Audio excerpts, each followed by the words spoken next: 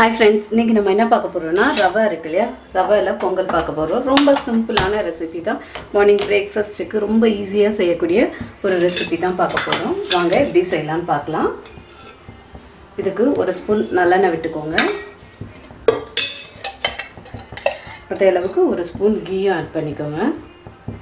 நல்லா சூடாகட்டும். நல்லெண்ணெய் கீ இதெல்லாம் சேர்த்து நம்ம வந்து செய்யும்போது பொங்கல் வந்து உங்களுக்கு டேஸ்ட் ரொம்ப நல்லாயிருக்கும். நல்லெண்ணெய் ஆட் பண்ணுறதுனால கொஞ்சம் கசக்குமா அந்த மாதிரி எந்த ஃபீலும் இல்லை. ரொம்ப நல்லா இருந்தது டேஸ்ட்டு இப்போ இதோட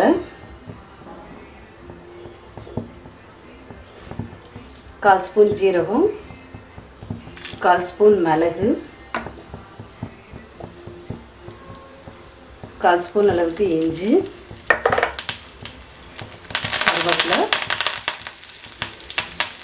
அதுக்கப்புறம் ஒரு அஞ்சு நம்பர் அளவுக்கு முந்திரி பருப்பு சேர்த்துக்கலாம். ரெண்டு பச்சை மிளகா சேர்த்துக்கலாம். இப்போ ரவையை வந்து சேர்த்துக்கலாம். ஒரு கப் அளவு ரவை எடுத்துருக்கேன் இது நல்லா வந்து இதில் நல்லா மிக்ஸ் ஆகணும். அந்த ஆயிலையும் கீலையும் மிக்ஸ் ஆகி ரோஸ்ட் ஆச்சுன்னா ரொம்ப நல்லாயிருக்கும்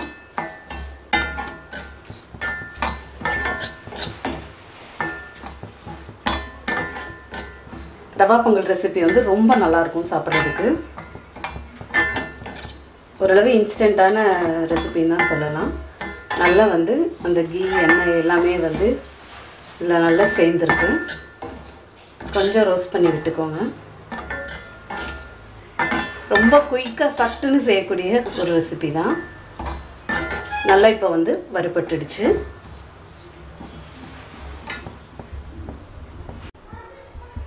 இப்போ இதை வந்து நம்ம நார்மலாக பாத்திரத்துக்கு வந்து சேஞ்ச் பண்ணிடலாம்.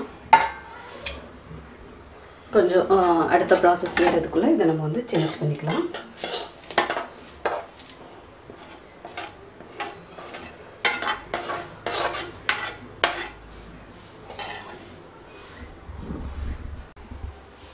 இப்போ வந்து நம்ம வேக வச்சிருக்கிற பாசிப்பருப்பு இருக்கு இல்லையா? அதை வந்து நம்ம சேர்த்துக்கலாம். ரவைக்கு முக்கால் பாகம் அளவுக்கு பாசிப்பருப்பு எடுத்துக்கோங்க. நல்லா வேக வச்சு எடுத்துக்கோங்க. இப்போது இதில் வந்து தண்ணி ஆட் பண்ணிக்கிறோம்.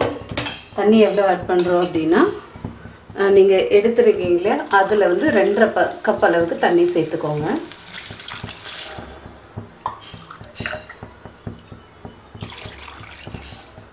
ரெண்டரை கப் அளவுக்கு தண்ணி சேர்த்துட்டிங்க அப்படின்னா உங்களுக்கு கரெக்டாக இருக்கும்.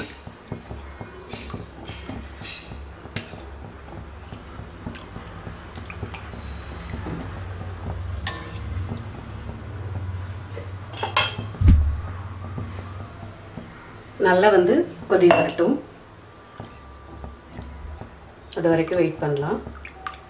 ரவையோடைய லைட்டாக மஞ்சள் வந்து சேர்த்துருங்க. வறுக்கும் போதே அதே மாதிரி இது வந்து கொஞ்சம் கெட்டியாக இல்லாத அளவு பார்த்துக்கோங்க. நல்லா கொதி வருது இல்லையா? இந்த டைமில் வந்து. நல்லா அது வந்து இறுகாமல் பார்த்துக்கணும். நல்லா தண்ணியாக தான் கொஞ்சம் இருக்கணும். இந்த டைமில் உப்பு சேர்த்துக்கோங்க. அதில் ஒரு ஸ்பூன் அளவுக்கு உப்பு சேர்த்துக்கிறேன். நான் உப்பு வந்து வேக வைக்கிறப்ப சேர்க்கல அதனால் இந்த டைமில் சேர்த்துக்கிறேன். நல்லா கொதி வரட்டும்.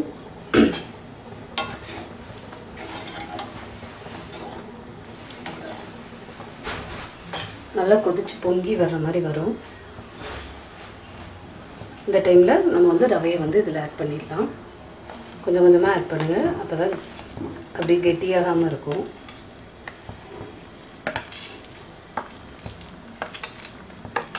ஃப்ளேம் வேணால் கம்மி பண்ணிக்கலாம்.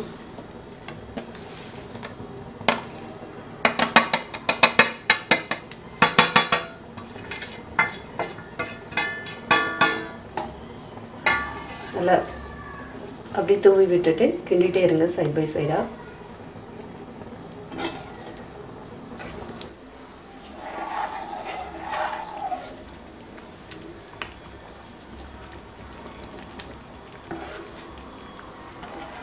நல்லா வந்து இந்த தண்ணி வந்து ரெடியூஸ் ஆகட்டும்.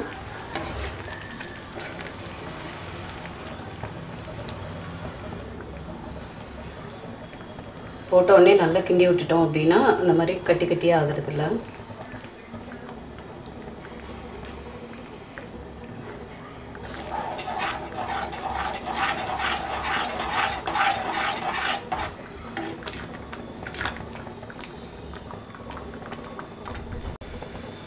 நல்லா வந்து பொங்கல் வந்து வெந்துருச்சு.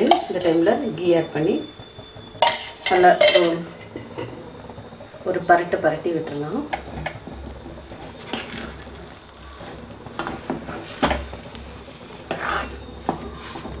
இப்போ வந்து நல்லா ரெடி ஆகிடுச்சு உங்களுக்கு. இந்த டைமில் இதை நகட்டிட்டு நம்ம வந்து தாளிக்கிறதுக்கான எல்லாம் செய்யலாம். இறக்கி வச்சிடலாம்.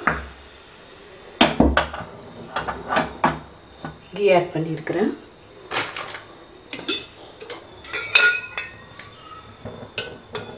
ப்ளஸ் ஒரு ஸ்பூன் நெய்யும் சேர்த்துக்கலாம். நல்லா வந்து ஆயில் கீ எல்லாமே வந்து சூடாகட்டும். நல்லா இது வந்து சூடு மட்டும் ஆகணும். வெயிட் பண்ணலாம் அது வரை. நல்லா வந்து ஹீட் பண்ணி வச்சுருக்கோம் இல்லையா நெய்யில். இதில் வந்து இப்போ மிளகு ஜீரகம் இஞ்சி அதுக்கப்புறம் முந்திரி லைட்டாக பெருங்காயத்தூள் இது எல்லாத்தையும் போட்டு நல்லா ஹீட்டாக இருக்கிற அந்த நெய்யில் வந்து அப்படியே இது மேலே ஊற்றிடலாம் அவ்வளோதான் நல்லா ஒரு கலர் கிளறி விட்டுக்கோங்க.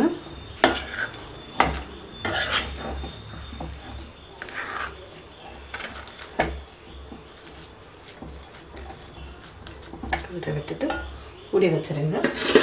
சூப்பரான பொங்கல் வந்து உங்களுக்கு ரெடி ஆயிடுச்சு. செம்ம டேஸ்ட்டாக இருக்கும். நல்ல பர்ஃபெக்டான ரவா பொங்கல் ரெடி ஆயிடுச்சு.